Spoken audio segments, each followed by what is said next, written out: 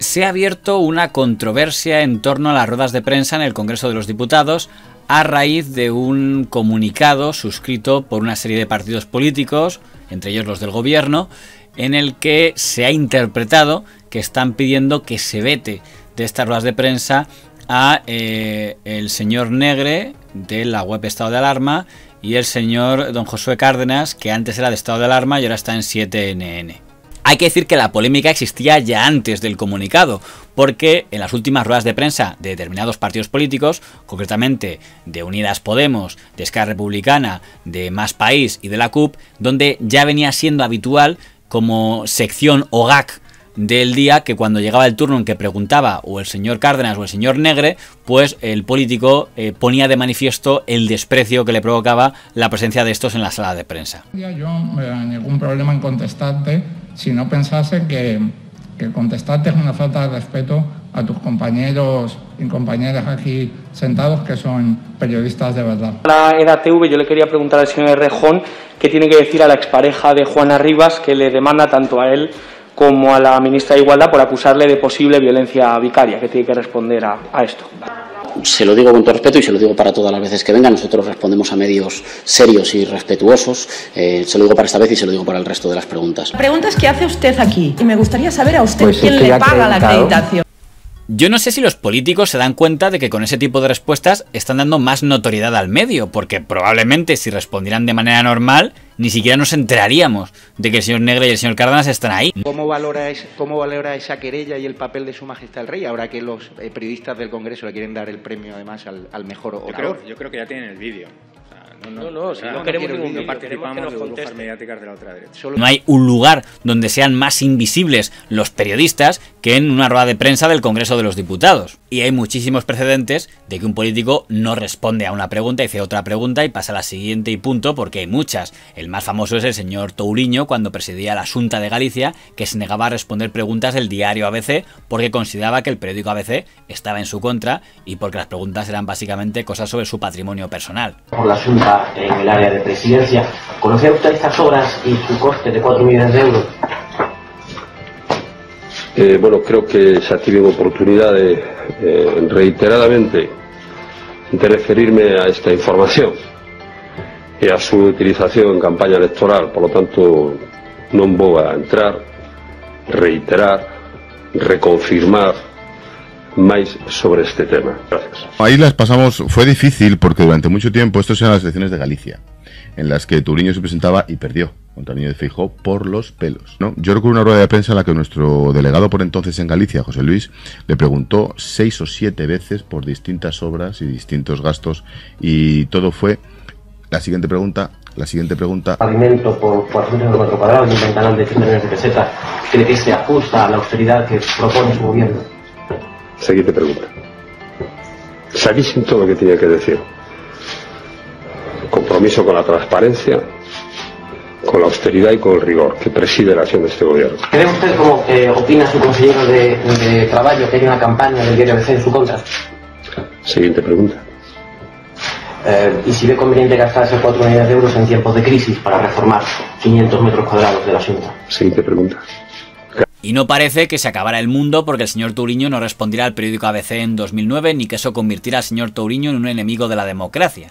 En el caso concreto del señor Cárdenas y el señor Negre, cabe preguntar qué es lo que hace que sus preguntas no merezcan ser respondidas. ¿Que son malas preguntas o preguntas provocación?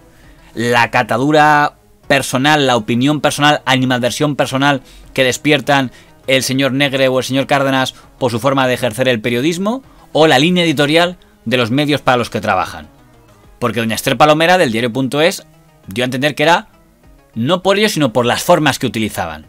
El problema no son las preguntas, sino las formas. El problema no son las preguntas, sino las formas. Si es por las formas, para empezar diría que el señor Negre y el señor Cárdenas no juegan en la misma división. No creo que tengan una conducta exactamente igual ni una trayectoria exactamente igual en ese campo. En el caso del señor Negre, desde que se hizo youtuber, sí le hemos visto utilizar algunas formas de preguntar barra increpar, que no parece la mejor carta de presentación si quiere ser corresponsal en el Congreso de los Diputados. Ha dejado que la extrema derecha ha dejado al cuidado de sus hijos hoy con la niñera que presuntamente hemos pagado todos los españoles o no. amedrentar a la gente ha dejado hoy a sus hijos o al pirracas, al delincuente que tenéis en la puerta que la pagar, o a su hermano que fue detenido por apalear, por agredir a la policía en Vallecas, o a su hermano. No soy nadie para dar lecciones de periodismo a nadie, pero si el señor Negre me quiere decir que con aquella escenita pretendía hacer preguntas a la señora Montero para obtener respuestas, diré que no le creo. Es más, en esa secuencia creo que lo que menos interesa al señor Negre es lo que le responde a la señora Montero. Creo que el objetivo es la secuencia de yo increpando a la señora Montero. Y no ese es el caso del señor Cárdenas o a su hermano que fue detenido por apalear, por agredir a la policía en Vallecas, o a su hermano. Porque, por ejemplo, cuando el señor Cárdenas le pregunta al señor Rufián sobre la ley de seguridad ciudadana, está haciendo una pregunta que no tiene ningún componente que podamos considerar que es provocación. Desde Esquerra Republicana la nueva ley de seguridad ciudadana este fin de semana 100.000 policías tienen previsto salir a la calle para protestar, entre ellos Mossos de Escuadra. ¿Y cuál sería la ley de seguridad ciudadana ideal para Esquerra Republicana? Muchas gracias. No participamos de burbujas mediáticas de la otra derecha.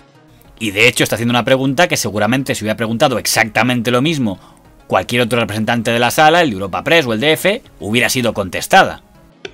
No participamos de burbujas mediáticas de la otra derecha no es ninguna burbuja mediática, de verdad, es una pregunta. ¿Qué posición tiene Esquerra Republicana con la nueva ley de seguridad ciudadana? ¿Cuál sería su ideal? ¿Qué piensa de los 100.000 policías que van a salir? No es ninguna burbuja, ni soy de extrema derecha, yo no le valoro a usted su ideología. Por favor, no me valore usted y responda la pregunta. Muchísimas gracias no participamos de burbujas mediáticas de la otra derecha. Por tanto, a pesar de lo que dice la señora Palomera, no parece que sea tanto un problema por las formas, que diría que han sido correctas del señor Cárdenas, sino o bien por la ideología que le atribuye, la línea editorial del medio para el que trabaja, o algo en la trayectoria pasada que haya visto el señor Rufián que considere que no le hace merecedor de una respuesta. En todo caso, si fuera por provocaciones, tampoco tengo claro que el señor Rufián sea el más indicado para hablar de provocaciones, porque los que hemos seguido su trabajo como portavoz en comisiones parlamentarias, las preguntas del señor Rufián muchas veces eran meras provocaciones que parecían destinadas básicamente a ser la nota del día y el motivo del zapping del telediario. O usted es maléfica o usted es la bella durmiente. Eh, como, como debe ser que no consiguió la primera página, antes la está intentando conseguir ahora. Le ruego que se abstenga de montar el pollo en el que está, el que está usted acostumbrado a practicar. A lo mejor el señor Negre y el señor Rufián se parecen más entre ellos de lo que piensan. Pero el tema no está tanto en eh, si deben o no responder los políticos a las preguntas de los periodistas. El tema estaría más en saber si el señor Cárdenas y el señor Negre han dado motivos para que sean vetados o para que se les retire la acreditación del Congreso de los Diputados con personas que puedan estar presentes en ruedas de prensa. Solamente en Cataluña ha habido un debate similar en torno a la presencia de don Xavier Rius en las ruedas de prensa. Sí, uh, perdoni, vostè s'imagina que jo li digués ara um, que el que m'agradaria seria que me o que la un menor? Ja m'entendrà la... Perdoni, no, perdoni, sí, ja entenc la... Pre... Si vol repeteixo la pregunta. No, no cal que la repeteixi, em sembla una falta de respecte. Sí, bueno, però és que això és el que hem fet, això és el que hem fet dos humoristes, això és el que hem fet dos humoristes, això és el que hem fet dos humoristes de TV3. I jo, crec, jo he arribat tard a la roda de premsa, no sé si n'han parlat al govern, han pres alguna decisió o alguna cosa. Vostè em pot explicar, la pregunta concreta és... La pregunta concreta, vigili com la formula, perquè em sembla que en els termes en els que l'ha formulat inicialment eh, no son respetuosos y no son ni tan sols en, en una sala de prensa. Pero el comunicado de los partidos políticos donde se pide esto es bastante ambiguo a la hora de concretar, porque lo que dice el comunicado es que el señor Cárdenas y el señor Negre están creando malestar con el resto de periodistas de la sala. Si esto fuera así, no tendrían que decirlo el resto de periodistas de la sala a través de los mecanismos que tengan pertinentes, porque esto de que los partidos políticos en plan paternalista se arrojen la representatividad de los corresponsales de Europa Press, de EFE, de las cadenas de televisión y las cadenas de radio es un tanto extraño. Doña Esther Palomera, de eldiario.es, parece que insinuó que un canal de YouTube no es un medio de comunicación para ella. Sí, sí. Y también lo que tú estás diciendo, yo creo que el, el origen del problema está en la acreditación. No se abrió la mano a cualquiera. Y ahora cualquiera que tiene un canal en YouTube tiene credencial del Congreso. Mientras que doña Ana Pardo de Vera dijo que el problema que había con el señor Cárdenas y el señor Negre es que ella considera que son ideológicamente afines a Vox, a lo que ella llama la ultraderecha, y por tanto son herramientas de la ultraderecha más que medios de la comunicación. Los representantes de dos medios concretamente que ejercen de portavoces de la ultraderecha. Siendo, como digo, representantes de dos medios de difusión de la extrema derecha, representada en el Parlamento a su vez por el partido Vox, emplean exactamente las mismas tácticas de este. Lo malo de que la señora Pardo de Vera aluda a la línea editorial de estos medios, a su ideología, al hecho de que los considera afines a Vox, es que por esa regla de tres estaría justificando que partidos políticos del lado contrario a los que firman el manifiesto pudieran pedir el veto de aquellos medios que consideren afines a la ideología del otro lado. Por ejemplo, cuando Vox dijo que no invitaría a su sede y a las ruedas de prensa que fueran en su sede a los periodistas que él consideraba que eran activistas de la extrema izquierda, desde el otro lado se dijo que aquello era censura. Eh, les puedo decir con toda claridad que si alguien pretende que en la sede de Vox tengan que entrar medios de comunicación que actúan no como medios de comunicación, sino como activistas de la extrema izquierda, que es lo que ocurre con su medio, y si alguien pretende obligarnos a acreditar a medios de comunicación que se dedican a deslegitimar, a distorsionar nuestro mensaje, pues dejarán de hacerse ruedas de prensa en la sede de Vox y les mandaremos comunicados y vídeos. Lo malo de usar como argumento para excluir un medio su línea editorial es que es un arma de doble filo, porque si tú puedes considerar que un medio es una herramienta de la ultraderecha, otro podrá considerar que el otro es activista de la extrema izquierda. La prensa debe ser capaz de organizarse, autorregularse y defender su oficio de sicarios de la información y de pseudoperiodistas al servicio de intereses espurios. El problema de este tipo de alegatos, que tampoco son nuevos, es que despiertan ciertas dudas de si lo que le molesta del señor Cárdenas y el señor Negre es su forma de actuar y su forma de ejercer el periodismo o la ideología que tienen, que es casualmente la contraria a la que tiene ella. Porque no parece casual que los medios que han salido a defender a los señores Cárdenas y Negre son casualmente los medios que son más afines ideológicamente a ellos, como puede ser la cadena COPE. Mentira. Le, estoy diciendo que es mentira lo que dice usted. No, lo que está usted diciendo es que, habla desde el desconocimiento. Usted no, no señor. tengo el comunicado delante. Lo firman ustedes. Lo firman todos los partidos que dan apoyo al gobierno. Óigame, lo que se está intentando es hacer el cerco a dos periodistas, concretamente Javier eso Negre. No es así. Eso si tanto, leas el comunicado. El, comunicado el comunicado está leído. Usted eh, ataca a este interlocutor. Eh, cuando hay una incidencia, yo creo que en el comunicado los diferentes periodistas, los diferentes grupos, y usted alegremente... Que son los jefes de prensa de los partidos, no son periodistas ni de la ABC. me deja hablar... Y en cambio los que han salido a criticarles son los medios que podríamos considerar afines más a Podemos. Por tanto, me pregunto si nos están queriendo colar como un conflicto periodístico lo que no es más que el enésimo conflicto político de un bando contra otro. Y hay que reconocer que tiene mérito que hayan conseguido que algo tan rutinario como las ruedas de prensa del Congreso de los Diputados, donde la principal labor del corresponsal de prensa es resumir lo que ahí se dice, porque los ciudadanos no tenemos tiempo de tragarnos las intervenciones completas de todos los políticos, y ahora parece que el protagonista de la noticia es el periodista, el corresponsal. Creo que el ego ombliguista del periodismo ha subido unos cuantos puntos más.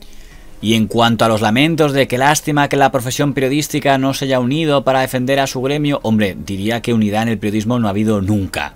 No, no sé en qué periodo de la historia del periodismo ha habido algún gesto de unidad, porque creo que, insisto, no lo ha habido nunca, y algo conozco de la historia de los medios de comunicación de este país. Pero bueno, en el caso concreto del señor Cárdenas, que sí hubiera sido a lo mejor bonito que alguien hubiera repetido la pregunta que él hacía en esa rueda de prensa para que el señor Rufián la contestara. Diré que a lo mejor al señor Cárdenas no le ha ayudado a hacer comentarios como este. También de las compañeras que nunca me dan paso cuando yo le pregunto y que seamos un medio que no somos palmeros no nos convierte en menos periodistas. Y que seamos un medio que no somos palmeros no nos convierte en menos periodistas. Porque si tú estás dando a entender que el motivo por el que no te contestan es porque tú no eres un palmero es decir, que el resto de la sala te parece que sí lo es, si implícitamente estás diciendo que el resto de periodistas son palmeros del poder, pues digamos que no estás poniendo fácil que en ese momento salgan a apoyarte.